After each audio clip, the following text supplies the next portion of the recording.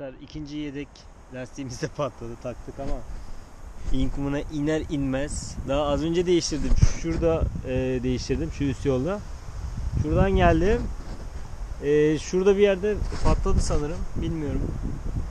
Tekrardan yama yaptık. Bekliyorum şu an kurmasını. ikinci lastiğe yama yapıyorum. Neyse arkadaşlar görüşürüz.